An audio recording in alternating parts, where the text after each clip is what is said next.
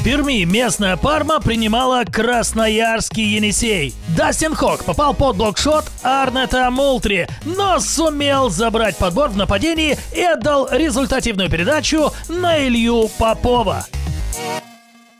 А в этом моменте Мултри отличился на чужой половине. Эффектное добивание центрового Пармы. Николай Жмако против гостей под кольцом своей команды. Блок для Гарлана Грина.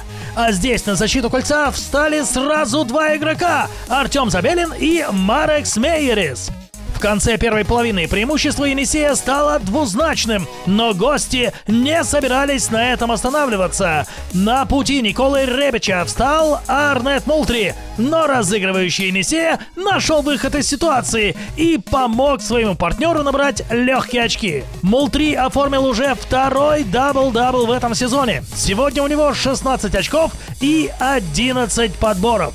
У Николы Ребича 12 очков, зато все его броски в этой встрече достигли цели. 4 из 4 от 44 номера.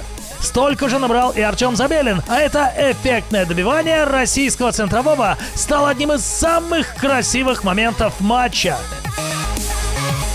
Томислав Зубчич пытался красиво закрыть третью четверть, но на его пути встал Марекс Мейерис. «Не в моем доме!» А за две с половиной минуты до конца матча Мэрис вывел Парму вперед. Бум! Данк с двух рук.